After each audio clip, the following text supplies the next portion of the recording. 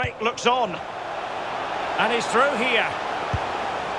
And we've just seen a counter-attack that can be so lethal. That was close. Well, yeah, invite the team onto you, be structured, and then hit them with pace. Wasn't far off.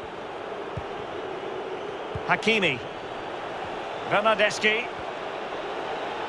Well, they've given him too much space. They're looking towards the back post.